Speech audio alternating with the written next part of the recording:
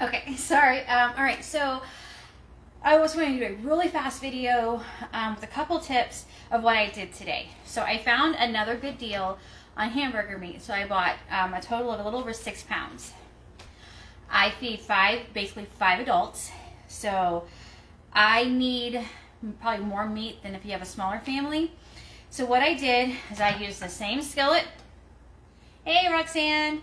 Um, same utensil. Hey, Rebecca. Um, for all three of these. And I thought I would get creative, and so I've got three different sloppy Joe, I don't know what technically makes a sloppy Joe a sloppy Joe, um, recipes to go into my freezer.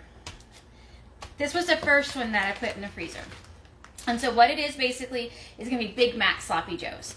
Tip number one, always write on your bag. Always write on your bag.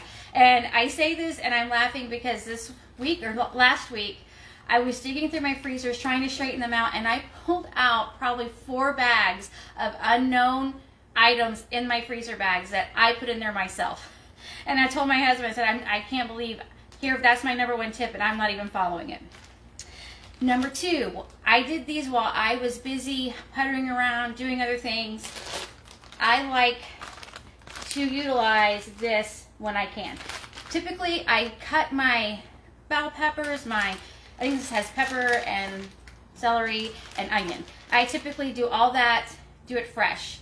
But when you're trying to get some things done, you don't want to chop all these onions up. That is a great saver. But they aren't the best at always getting out the pill. So um, just kind of keep an eye and you can pull that out. Tip number three doesn't have to be complicated. And I ran out of Worcestershire. I have no idea how to say it. Um, I think last week during my meal prep, which is funny because I'm prepping and don't have it. But anyway, so I just wrote on here that I need two teaspoons of Worcestershire sauce. Um, so when I do make it, it's on here.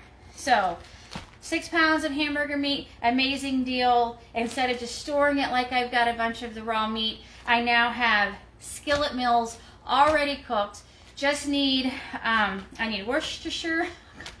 I hate that I don't even know how to say the word and I'm saying it like three times now.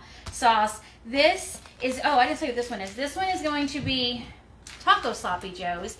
And I'm thinking of maybe adding some cheese to this or queso. I'm not sure. And the final one is one I just finished. Um, it is, uh, what am I calling it? Creamy Bacon Ranch Sloppy Joes, and this needs the bacon. And what I will do for the bacon is what I typically always do because I'm cheap.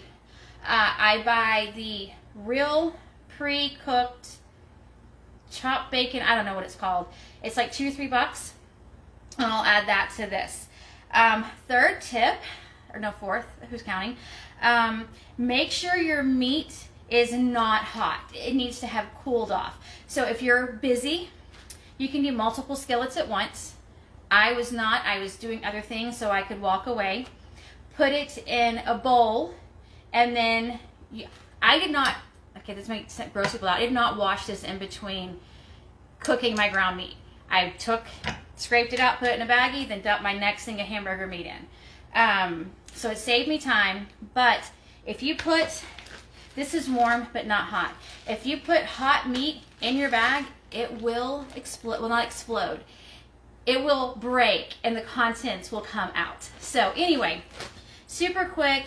This is uh, hot weather is coming up. I just saw here that we're going to have June temperatures next week. Mother's Day is like 95 degrees. So having some pre-prepared, it's easy word, prepared meat meals in my freezer um, from some good deals that I had, not really heating up the house. Um, when went all the way around. Anyway, my husband's about to pull in and he acts awkward when I'm doing a video. Um, that's it. I hope you're having a great week. Thanks for watching. Bye.